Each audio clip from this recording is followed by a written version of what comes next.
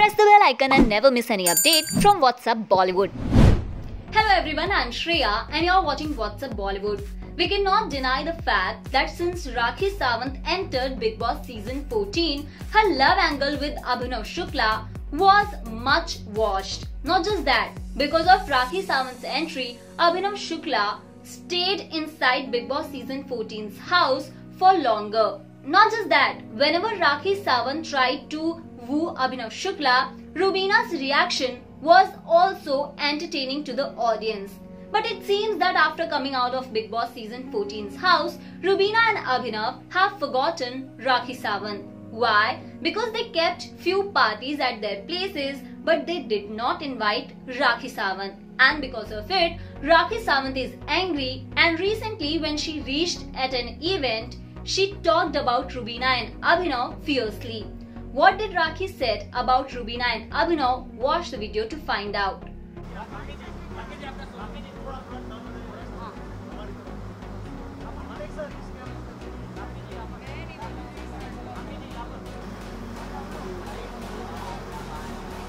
हाँ, वो लोग आ रहे हैं बस जैसे आते हैं तो फिर आते हैं पास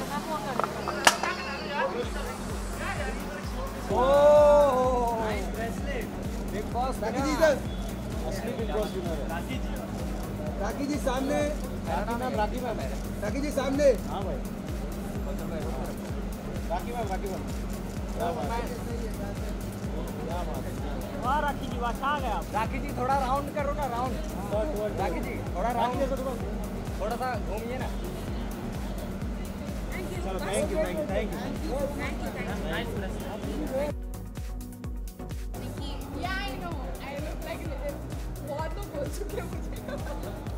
madam यहाँ पे यहाँ पे रश्मि जी। सामने एकदम सामने। आर अड्डा अरे यार एक मिनट तो लेने दो विजुअल्स अरे सर आपके लिए बस। है रश्मि जी।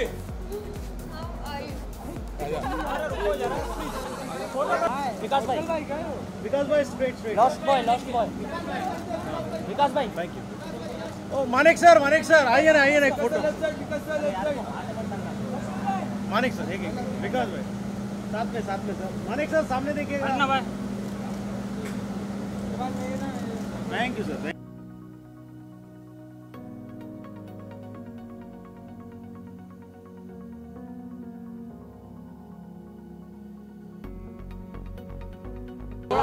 और पीछे चले जाइए ना. थोड़ा पीछे थोड़ा पीछे.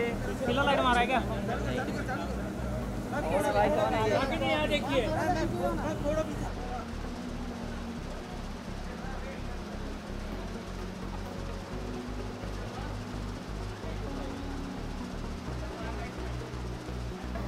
Thank you so much my big boss मैं जब से बिग बॉस से बाहर निकली हूँ, तबीयत मेरी ख़राब है, मैं रात को सो नहीं पा रही हूँ। नोएल्स करने के बाद भी बर्तन धो रही हूँ, कपड़े धो रही हूँ, झाड़ू लगा रही हूँ, पोछे लगा रही हूँ। मुझे सिर्फ़ कानों में एक ही आवाज़ गूंजती है, बिग बॉस चाहते हैं कि राखी बर्तन धोए, बिग बॉस चाहते हैं कि राखी बिस्तर लगाए, बिग बॉस चाहते हैं कि राखी उड़ जाए। क्योंकि जो ढाई महीने का, ढाई तीन महीने का जो मेरा अंदर का जो सफ़र है, मुझे सिर्फ़ बिग बॉस की आवाज़ पे ही मैं हर चीज़ यू नो उड़ जाती हूँ, काम करती हूँ, घर का काम कर रही हूँ मैं। ओ माई गॉड मेरी बहुत बुरी हालत है। ये तो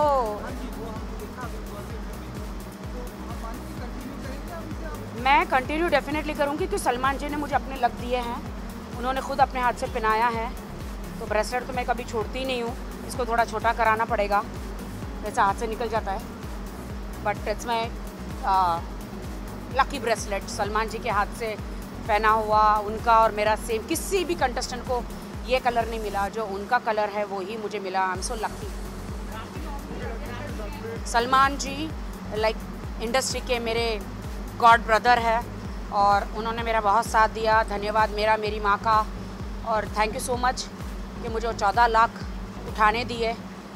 वो उसके कारण मैं अपने माँ का इलाज करा पा रही हूँ। उस लोगों को नहीं समझ में आया कि राखी तुम तो जीतने वाली थी। वो चौदह लाख, जब मॉम आपकी कैंसर पीड़ित है हॉस्पिटल में है तो वो कहते हैं ना, डूबने डूबने वाले को तिनके का भी सहारा होता है। मैंने कहा था पहले भी कि मेरा अकाउंट एकदम ज़ीरो बैलेंस हो गया है। क्योंकि जब मैं यहाँ से गई थी तो अपने हस्बैंड को और अपने ब्रदर को मैं उसके जो बैंक के डिटेल्स देकर गई थी कि मम्मी को कभी कुछ भी हो जाए तो एडमिट करना। तो टोटली ज़ीरो बैलेंस हो गया था। क्योंकि हॉस्पिटल में इतना पैसे लग गए थे, जितने भी थे। कैंसर एक बहुत बड़ी बीमारी है, लेकिन बहुत जल्द हम उससे लड़ेंगे। और कैंसर को मिटा देंगे। और तभी मेरा सब कुछ वॉश आउट हो गया। पैसा आज नहीं तो कल इंसान कमा ही लेता है। माँ बाप होना बहुत ज़रूरी है। भाई बहन हमारी फैमिली होना ज़रूरी है। पैसे पैसे कहते हैं ना इतने इम्पोर्टेंट नहीं है, लेकिन पैसे बहुत इम्पोर्टेंट भी है।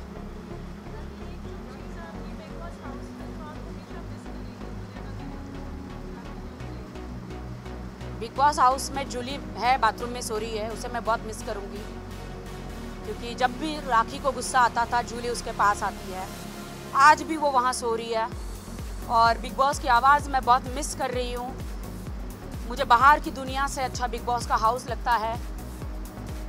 जब मैं अंदर रहती हूँ तो बहुत स्ट्रेस रहता है और आप यकीन मानिए, मैं थोड़ी पुट ऑन भी हो गई हूँ, क्योंकि वहाँ पे दाल, चावल और पराठे मिलते हैं, न सैलेड न कुछ मिलता है। तो खाने के लिए तो लड़ाई है ही है। बट हाँ जो वहाँ पे नोक झोंक होती थी, लड़ाइयाँ टास्क सब होते थे। बिग बॉस सलमान जी हर हफ़्ते आते थे। तो वो मैं सब मिस कर रही हूँ, सारे दोस्तों को मिस कर रही हूँ। सबको मैं मिस कर रही हूँ। बाहर आके सारे आधे से ज़्यादा सेलिब्रिटी गायब हो गए। मुझे समझ में नहीं आया क्या ये लोग चढ़ गए हैं या इन्हें ईवो आ गया है? या इन्हें घमंड आ गया है? मैं वही राखी सावंत हूँ। मैं तो सब मीडिया से मिल रही हूँ। मैं हर पार्टी में जा रही हूँ। जाना ज़रूरी है क्योंकि मैं सेलिब्रिटी हूँ। मेरा दिखना ज़रूरी है। मैं एक बिग बॉस करके मैं घर में बैठना नहीं चाहती हूँ। मैं दिखूँगी तो मुझे काम मिलेगा। दिखेगा तो बिकेगा ना? तो मैं दिखना चाहती हूँ, तभी तो मुझे अच्छा काम मिलेगा। तो मैं हमेशा चाहती हूँ कि आई शुड वर्क हार्ड मुझे सेकेंड इनिंग मिली है बिग बॉस से। चौदह साल का मेरा सफ़र रहा है। बिग बॉस ने बहुत प्यार दिया है। सबसे ज़्यादा मुझे खुश वो पल लगा जब बिग बॉस ने मुझे कहा कि बिग बॉस राखी सावंत से जाना जाता है। मुझे बहुत अच्छा लगा। बहुत अच्छा लगा। हाँ बाहर मुझे बहुत लोगों ने अलग अलग नाम दिया अभिनव के लिए, रुबीना के लिए। बट मैं जानना चाहती हूँ क्यों?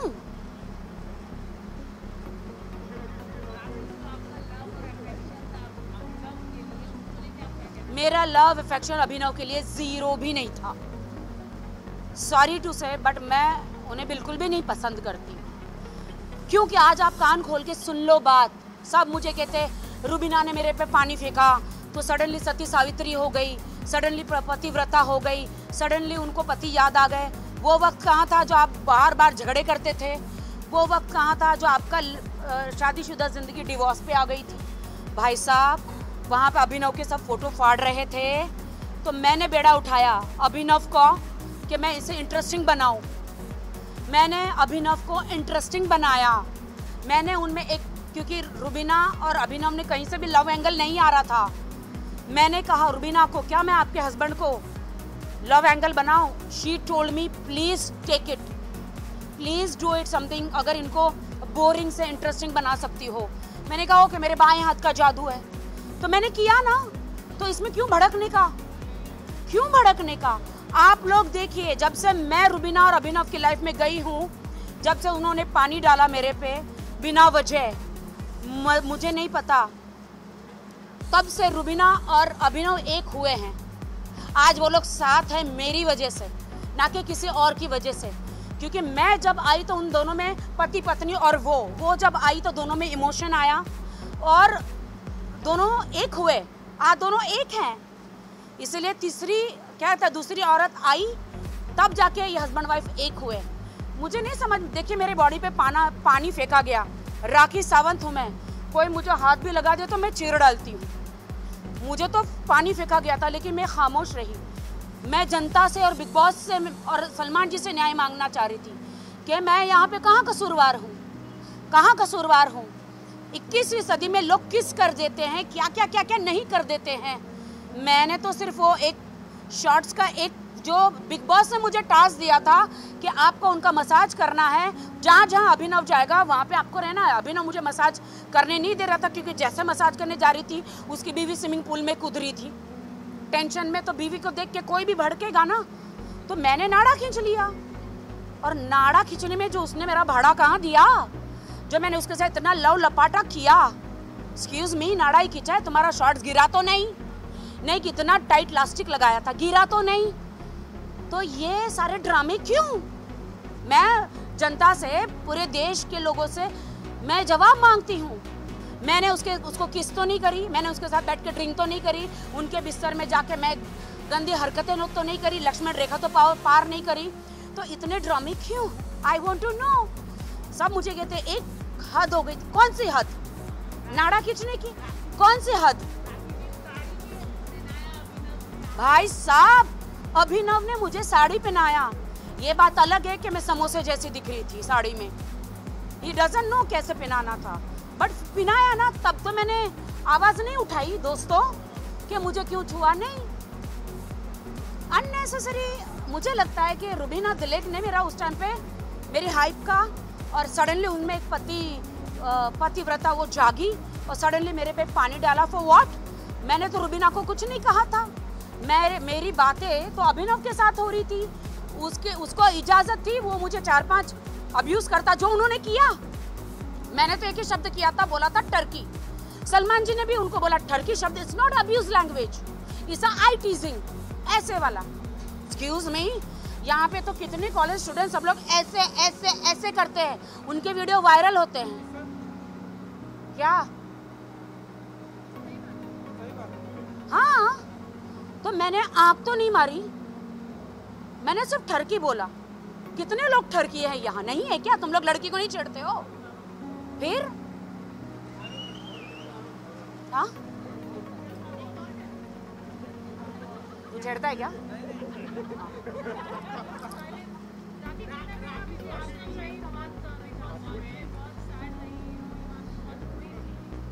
मैं बहुत अंदर से सैड थी बिग बॉस जर्नी में। मुझे कुछ कर दिखाना था क्योंकि मेरा सेकंड टर्म्स था।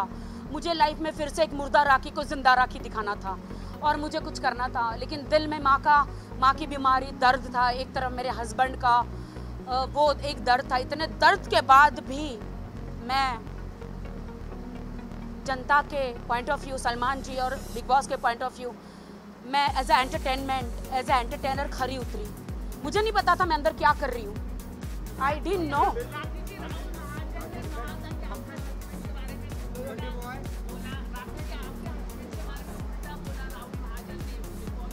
राहुल महाजन की खुद की क्या हस्ती है, बताइए ना। राहुल महाजन के साथ उनका महाजन अगर सरनेम निकाल दिया जाए तो अ ज़ीरो हाँ मैं उनके महाजन सरनेम की रिस्पेक्ट करती हूँ। उनके फादर की, उनके मदर की, उनकी सिस्टर की रिस्पेक्ट करती हूँ। वरना वो खुद क्या है भाई?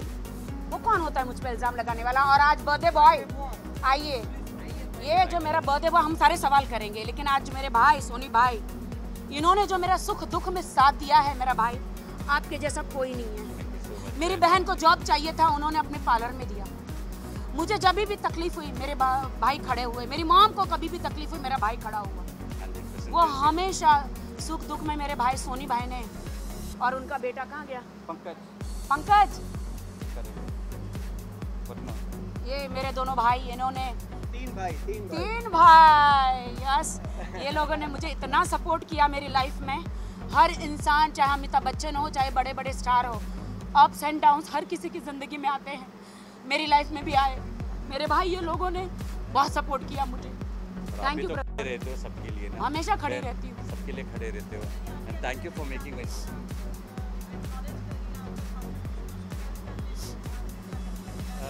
ये भी मेरे लिए बहुत हर जगह सपोर्ट करती है। आज मेरा पंद्रह साल से रिश्ता है। अपनी सगी बहन से भी ज़्यादा वो निभाती है। एक कॉल पे कहीं भी आ जाती है मेरे लिए और मैं भी इसके लिए खड़ा हूँ। And I'm once again thanking her for making my wonderful birthday a very, मैं हर साल दुनिया के किसी भी कोने में रहूँ। भाई का बर्थडे मैं तो मनाती ही हूँ। And even for my son Pankaj she is always there अपने पति जी के लिए।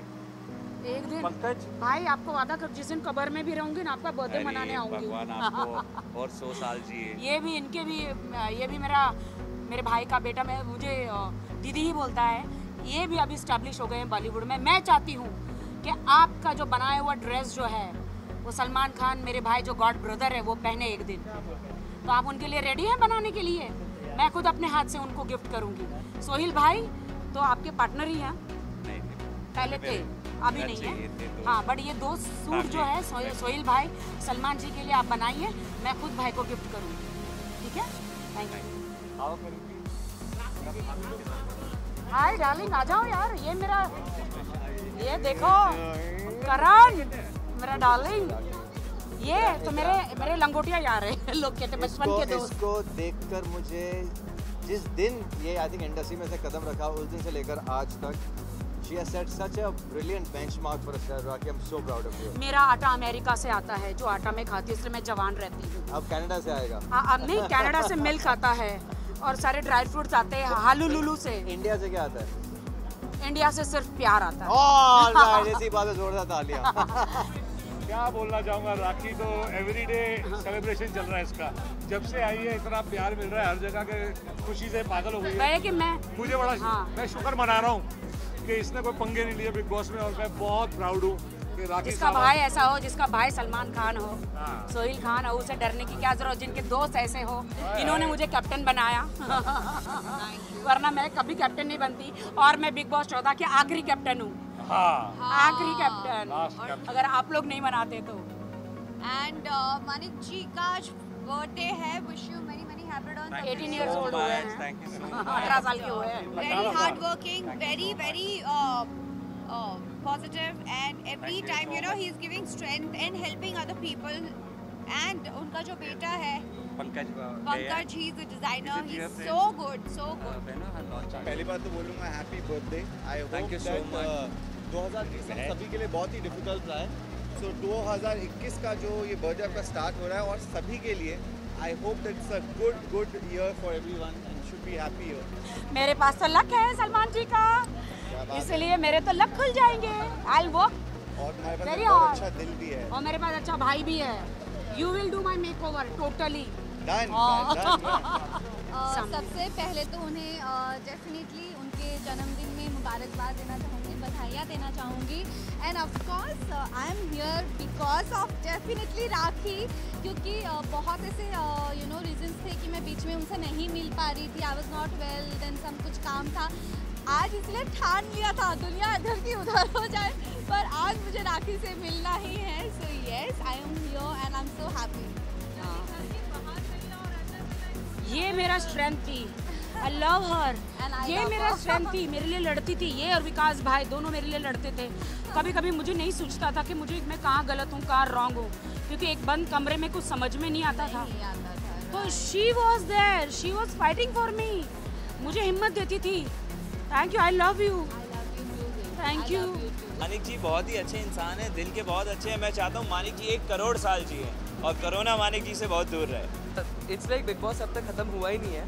हम सबको ऐसे ही लग रहा है कि बिग बॉस अभी भी चालू है बिकॉज़ बहुत सारे इवेंट्स हो रहे हैं बहुत सारे launches this that it feels good and today it's Manik Dada's birthday so I am very very glad to be here and also Rakhi ने मुझे पर्सनली बुलाया फ़ोन करके बोला अगर तू नहीं आया तो देख लेना and all that so had to be here and glad to be here Well, do you agree with Rakhi Sawant's interview? Let us know in the comments below. And for more such updates, keep watching What's Up Bollywood.